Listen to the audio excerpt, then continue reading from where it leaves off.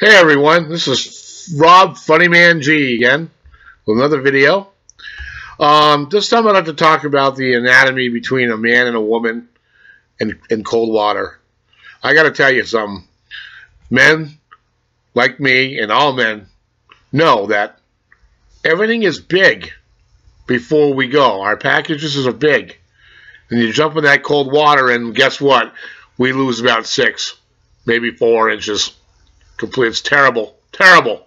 A woman can jump in the water, cold water, her nipples just automatically just expand. It's just like you know, holy God, look at this.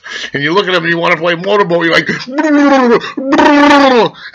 anyways, that's the difference between the anatomy of a man and a woman jumping into cold water. And I got to tell you, I hope you like my videos. Please subscribe. I'm going to keep doing little things. I'm trying to be a comedian. Um, so please uh, like my videos. Um, I'm just starting out, so bear with me. Um, I'm going to be doing a lot more different videos in the future and um, little bits and pieces here. But I'm just starting out, so, you know, give me a break. But at least, uh, you know, try to like my videos.